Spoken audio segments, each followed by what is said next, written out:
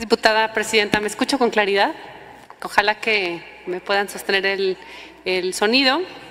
J. Cole, compañera diputada, qué gusto saludarle. O le debemos de decir Citlali Ibáñez, porque pues para que vea que sí leemos y que a la ciudadanía, no a mí, no tiene por qué explicarle con muñequitos y sí tenemos memoria. Eh, en algún artículo en expansión por ahí del 3 de julio del 2020, eh, cito unos principios muy particulares que la cuarta transformación defiende. Entonces aquí hay que preguntarnos si tu participación en la campaña suma, a quién, o si suma o no suma, porque pues el presidente de la República dice no mentir. Primero que nos cuente cómo se llama y después también por qué en 1988, cuando tuvo un puesto en Canacintra, pues se le nombraba apadrinada de Salinas de Gortari.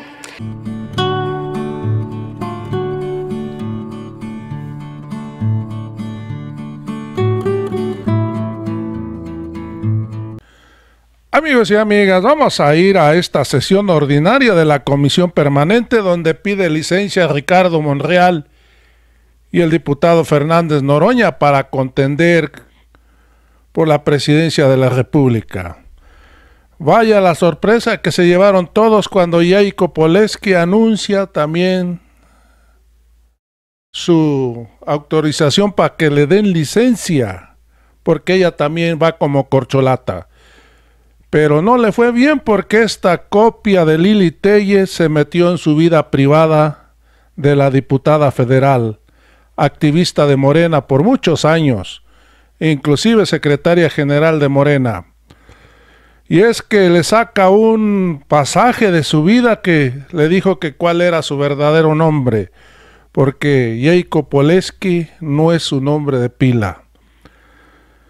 La polémica verdad detrás del cambio de Jacob Poleski, y es que cuando tenía 12 años fue víctima de violencia sexual y su madre determinó cambiarle el nombre y los apellidos, pero no el de sus tres hermanas. Amigos y amigas, y esta señora de Acción Nacional le recuerda esa desagradable, desagradable y triste historia de su vida. Amigos y amigas, se metió hasta la cocina esta paniaguada.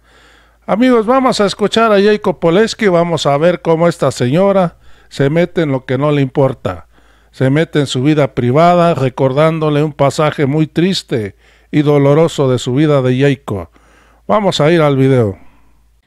A continuación, se le concede el uso de la palabra a la diputada Jacob Polewski Gurbitz del Grupo Parlamentario de Morena.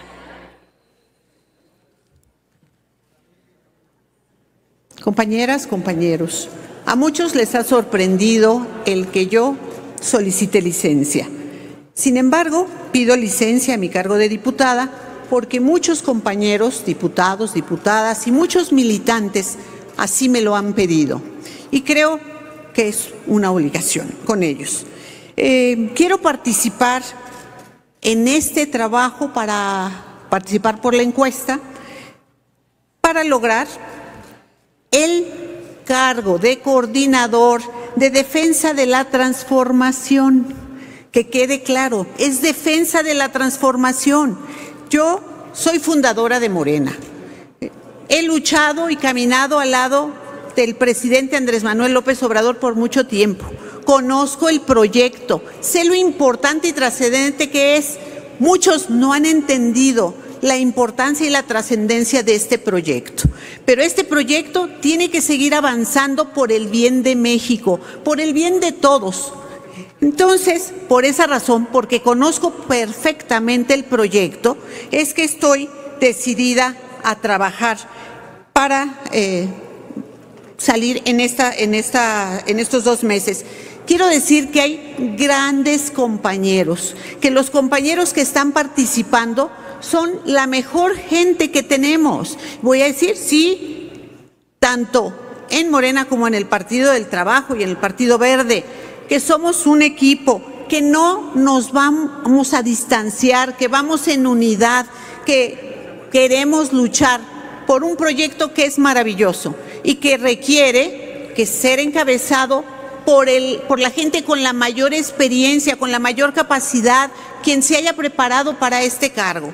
Entonces, esta es solo una etapa para definir a un coordinador, a un coordinador en defensa de la transformación. Y estoy decidida a luchar por esa transformación por la que yo abandoné al sector empresarial, abandoné muchas cosas para seguir luchando en los temas de fondo, que son los que me importan, que son los temas que le corresponden a este país. Y tendré el honor de estar al lado de grandes compañeros que estarán también haciendo el mismo trabajo.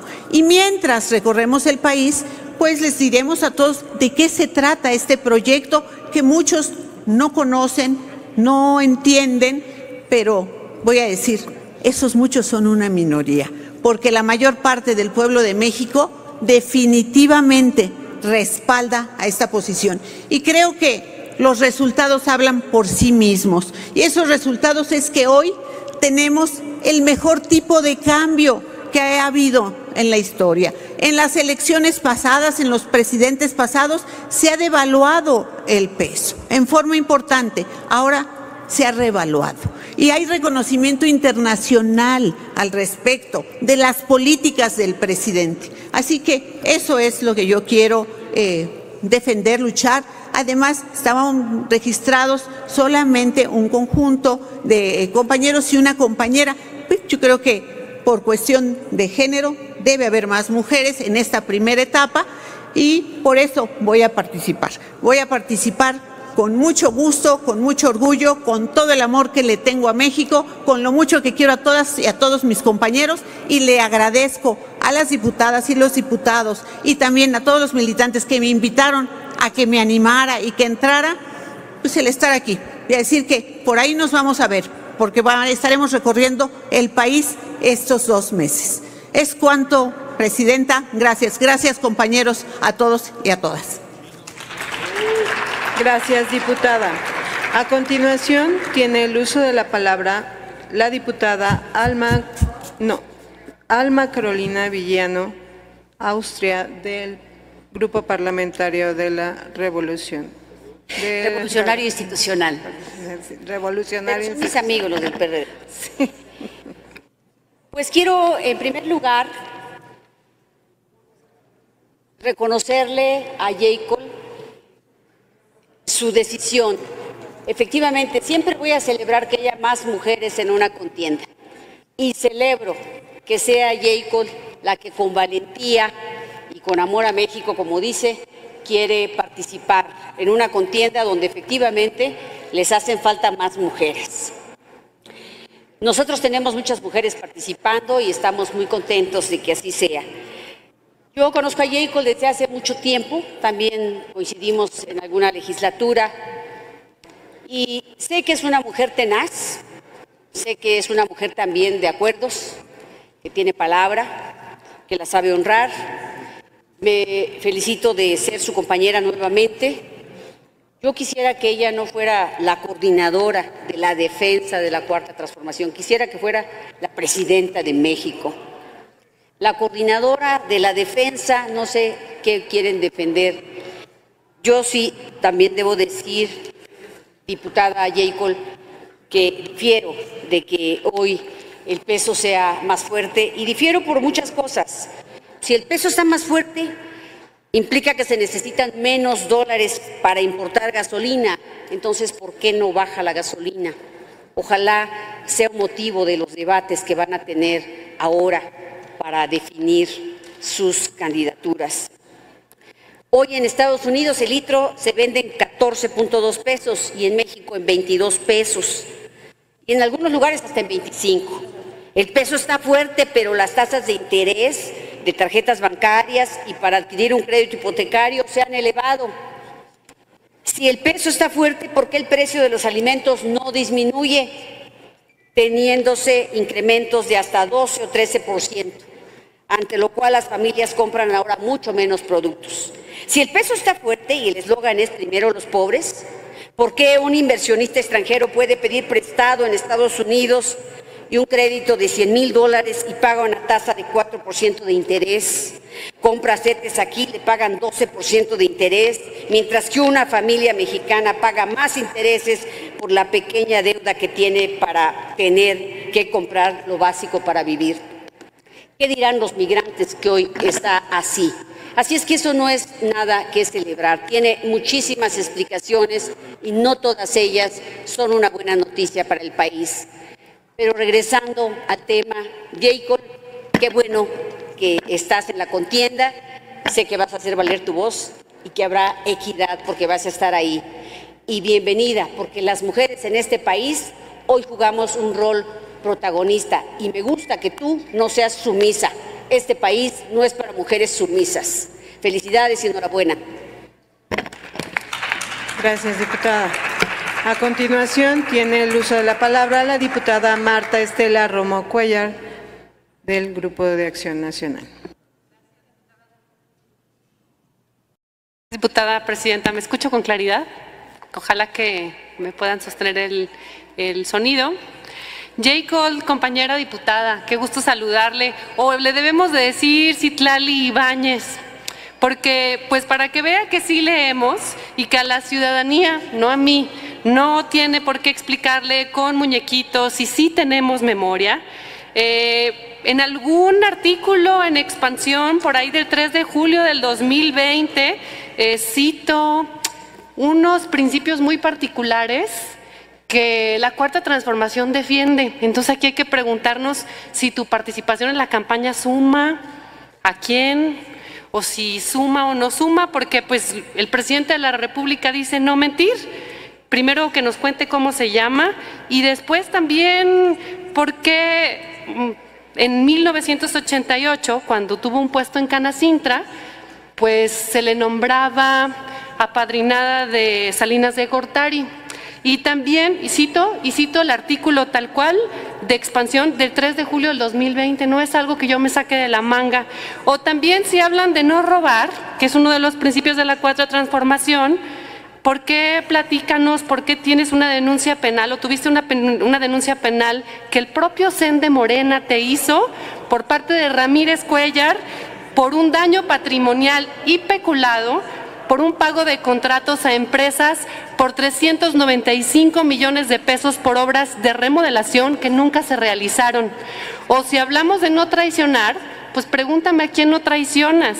Si no traicionas a tus intereses personales o a los ordenados por el presidente Andrés Manuel López Obrador, porque tu propia militancia se sintió en este caso traicionada, porque te recuerdo que fue en fuiste amonestada por la Comisión Nacional de Honestidad y de Justicia de Morena por manipular la sesión y también por tener nombramientos a modo. Entonces, platícame, ¿bajo qué principios vas a aportar esta campaña? ¿Bajo qué principios, si Morena se llena la boca de decir que sus principales principios es no mentir, no robar y no traicionar? Es cuanto, diputada presidenta. Gracias, diputada. A continuación, se concede el uso de la palabra al diputado Marcelino Reginaldo Sandoval Flores del Grupo Parlamentario. muchas gracias.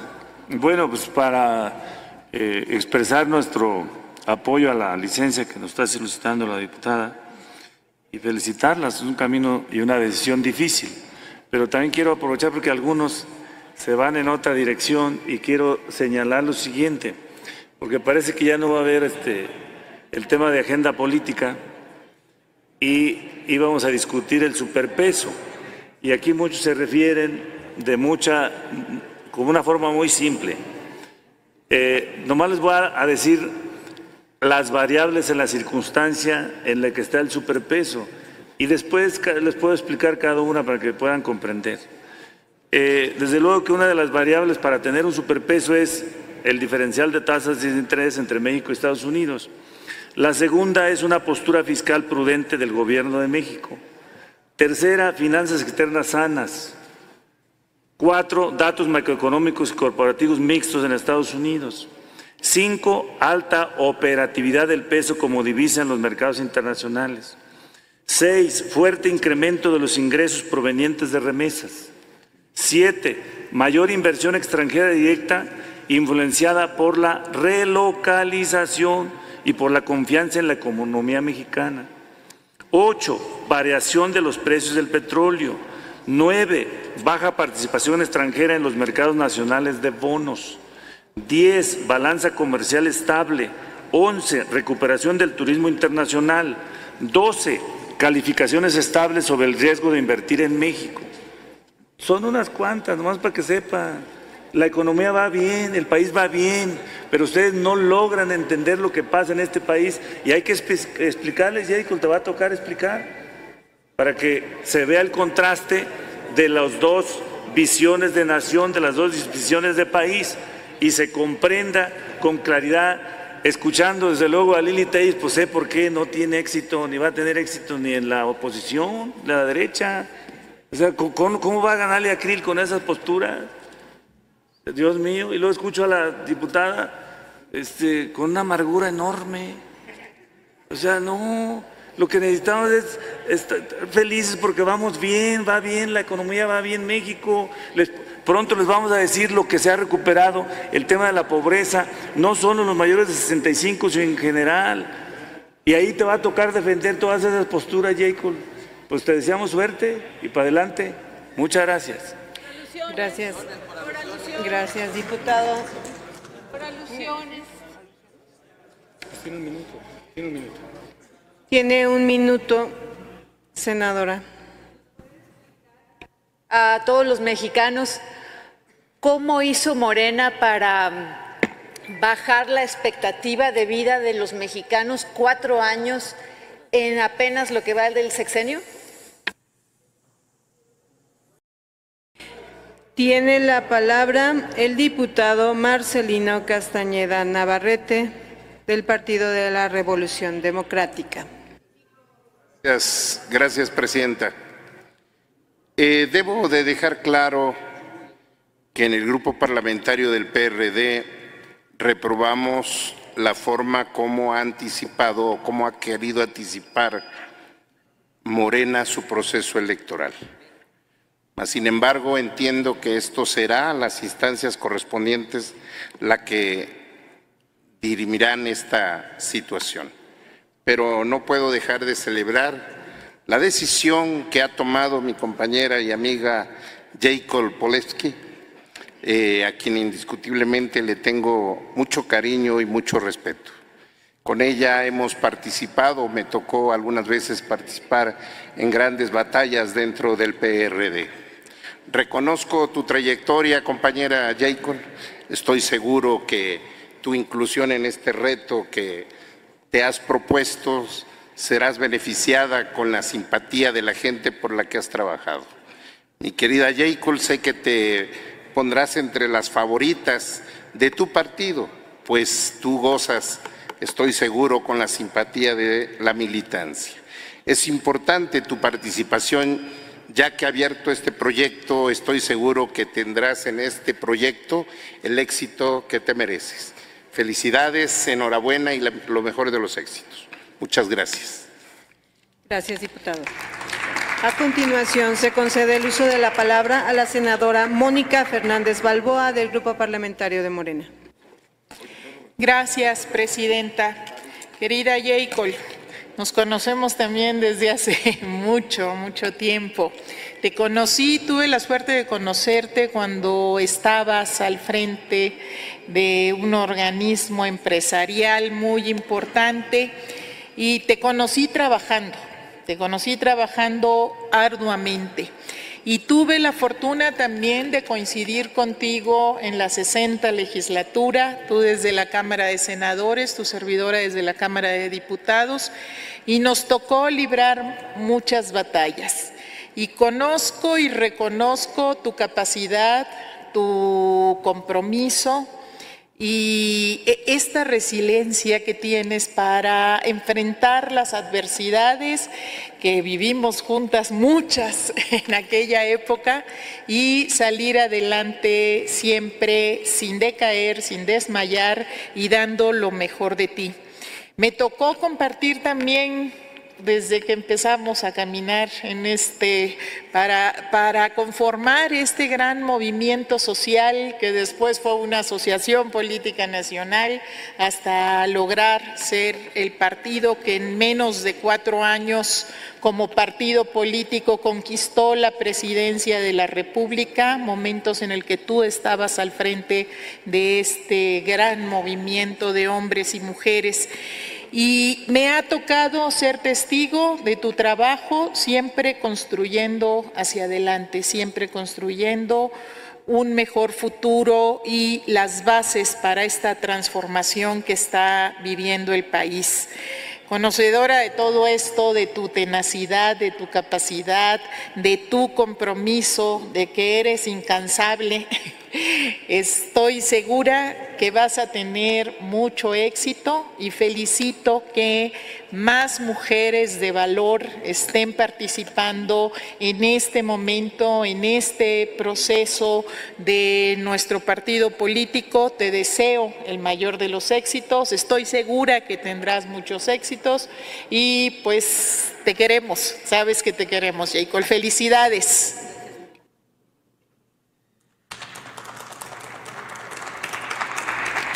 Gracias, senador. A continuación, tiene el uso de la palabra la diputada Lidia García Anaya, del Grupo Parlamentario de Morena.